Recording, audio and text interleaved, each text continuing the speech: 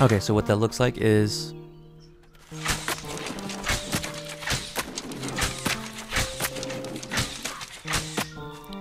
Hello everyone and welcome back to a brand new New World video. Today I have tips and tricks for you guys for bow users, sword and shield, etc.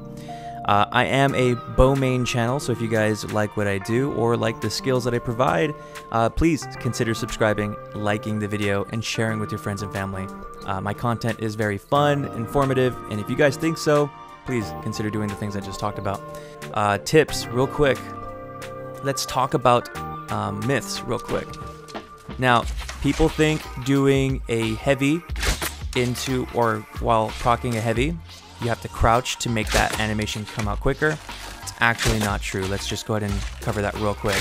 Even double crouching will not make that heavy arrow come out any quicker. So stop doing that. The only time this is actually beneficial is if you're going against another bow user and you just quickly dodge a headshot or a skill shot that they're going to do on you. That's pretty impressive actually if you can pull that off. So cool, now it's done and completed. Next thing is going to go over into your dodge roll super super easy dude.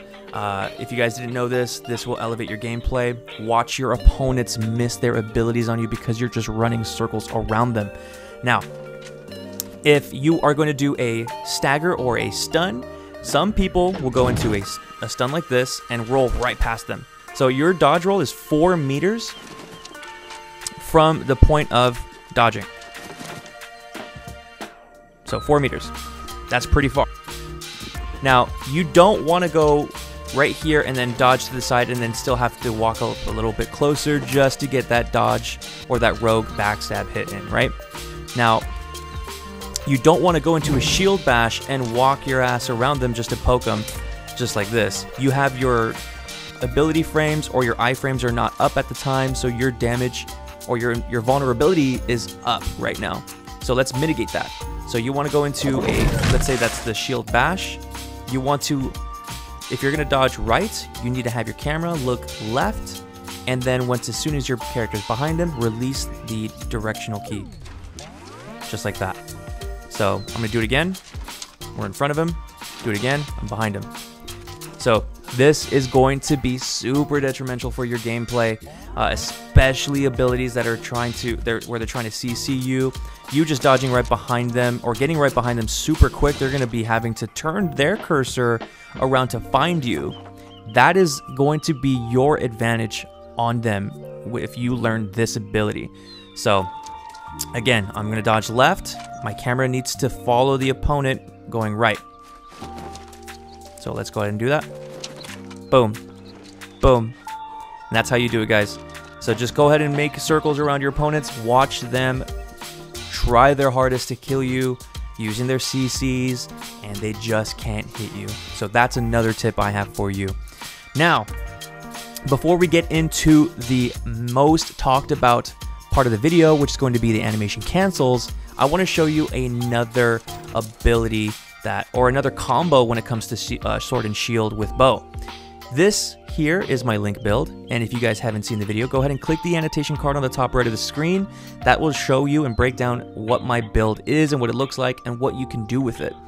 I did just learn yesterday what you can do with the with the the stun. So if you stun somebody, switch to your bow and just proc your poison shot right next to their feet, they're still going to stay stunned until you cause a direct hit to wake them up, that's when they will start to move around. So you want to go into a shield bash, into the poison shot, they're still stunned, and then you want to go into a explosive arrow. And that will be your combo for the sword and shield and bow. This is an additional combo that you can implement into your gameplay if your character or the opponent you're taking or fighting on is too tanky. If they're too tanky, this is actually a very good ability or com combo to do because you're watching their health dwindle down. Or if they're chasing you down, you have you you have two other abilities. You can get away using Leaping Strike, and if they get too close to you again, you can just shield bash them in. And if you have the ability where you slow them down here all the way down, which I don't have, you can slow them for 30% for 4 seconds, and that will also help you get away. If you have a crit, if you have a crit, which I don't have these abilities, you can gain 20% haste for 5 seconds. Then you can for sure get away. Um, I would recommend doing that type of build if you are too squishy and etc. Now that combo add to your uh, repertoire and this will help you elevate your gameplay. Okay, now let's get into the best part of the video. Now, animation cancels with the bow are extremely helpful. It can get you killed if you're not using them in the best timing or in the right situations. The only time I find that it's very, very easy to do and easy to pull off is when your opponent is about this far away from you. Uh, this is going to be the best time to use the animation cancels to put in so much damage and so on. If you are about this close to the enemy, they can easily, you know, leap strike at you or throw gravity well at you or even reap you, I think, from that distance. And just pull you right in, stop your animations, stop your flow, and you just take an, take an L. now, the standard way to shoot a bow, this is the this is the fastest way. I'm just doing lights, right? This is the fastest way. Keep this timing in your mind. Not the best, right? It's super slow and it doesn't do a lot of damage. So let's go ahead and up your uh, invulnerability frames with your damage. So instead of just doing this and walking in reverse, trying to get away from your opponent, you are still invulnerable. You're not iframing anything at all, and you can take any type of damage. So if you go ahead and shoot and roll, shoot and roll, shoot and roll, shoot and roll, that will be your invulnerability frames kicking in. So that means you might dodge one or two abilities, and you can continue that pressure with the lights. Now let's go ahead and up the time of damage, but keeping the same invulnerability frames up. So what that looks like is you're going to want to shoot, proc an ability such as Rain of Arrows, Poison Shot, or penetra Penetration Shot to animation cancel. So you're going to proc it, then roll, and then shoot. Ability, roll, shoot. Ability, roll, shoot. So what that looks like is going to look like this. Shoot, ability, roll, shoot, ability, roll, shoot, ability, roll, shoot just like that. I missed his head, but you get the idea. I do have a video that I'm going to be playing for you guys, and it'll be a side-by-side -side comparison. I'm not sure if I can put the time frames on, but you can see that I'll start the first arrow launching out of the bow, and then you can see that the animation cancel is going to be a bit quicker than the standard roll. Uh, so here it is.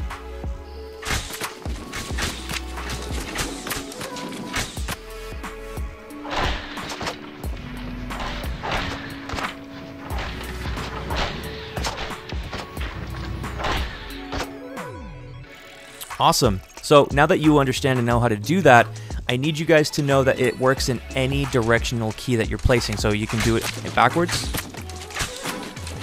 You can do it from the side as soon as my abilities come back up or my uh, stamina. You can do it from the side as we mentioned. And you can even go doing it forward. So if you're chasing someone and they're really low, you can go just chase, chase, chase, and just quickly get in that burst Another quick tip before we get into the actual animation cancels that you saw in the beginning of the video is going to be your, your standard hip fire shot. Believe it or not, your hip fire shot will actually kind of gravitate to an enemy. So it doesn't matter if you're kind of off a little bit. If it if the game senses there's a player in your cursor, it will kind of have bloom. So your arrows are not always accurate. You'll see that it'll kind of go to the side or left or right if it shows a player. So that that arrow kind of deviated downward. So I don't know what it is, but your lights like this from the hip will make your life a little easier chasing squishy squirrels.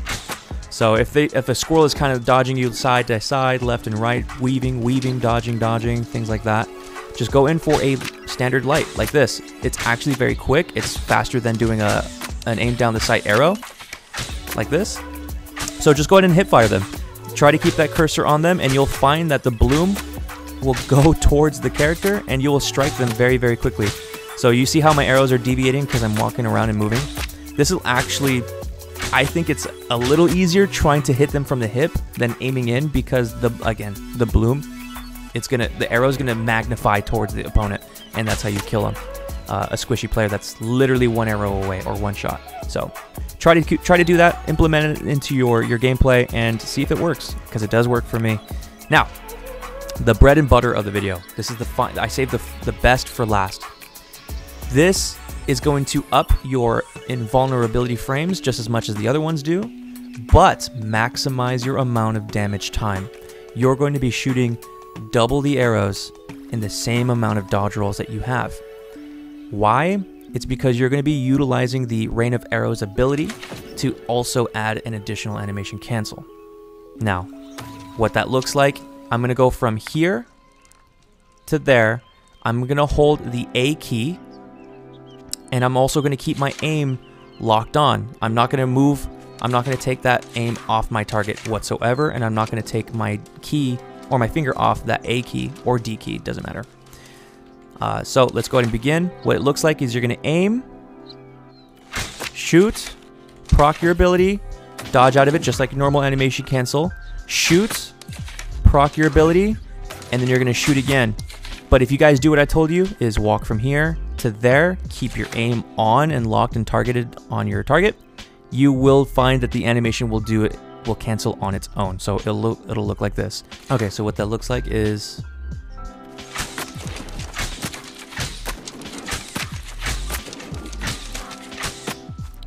So if I counted correctly, I think that's seven arrows, maybe eight.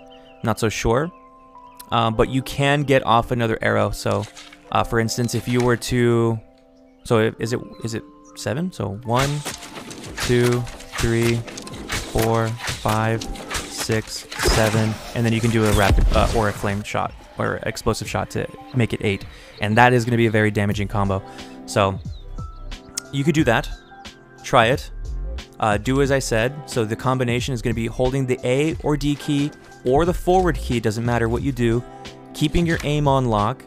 You're going to want to shoot, proc your animation cancel, shoot, and then you're going to click that ability key. It has to be the rain of arrows. If you're holding left, right, or straight and the arrow, and I mean, and the the aiming button, it, you will find that the animation will cancel on its own.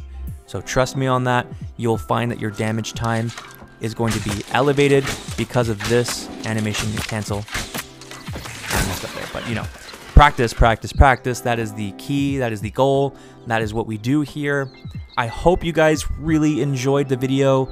I hope this uh, taught you a lot of things. Um, I'm trying to learn a lot of cancellations. I'm trying to learn a lot of skills in my PvP adventures. I'm trying to get better for you guys so I can highlight my skills on YouTube and just really, really just go ham on these on these people. Uh, I'm tired of getting killed by a lot of heavy users. Mind you that I don't have any type of thrust or strike resistance. Sorry, strike or um, slash resistance. But you got you get my point, right? So 25 thrust resist. I'm, I'm tired of get, getting killed by uh, by bows and uh, spears, but I still die from spears. They're, they're incredibly hard to get away from. So don't let them get near you. Hope you guys enjoyed the video as I mentioned. Leave a like and comment down below. Subscribe if you guys like the, the tips that I just provided you today. I will definitely have a lot more. If you guys need a more clear in-depth guide on this later, please, I will uh, consider making a brand new in-depth video. And if you guys subscribe and you're staying tuned to my videos, you will even see more PvP content with me utilizing this skill.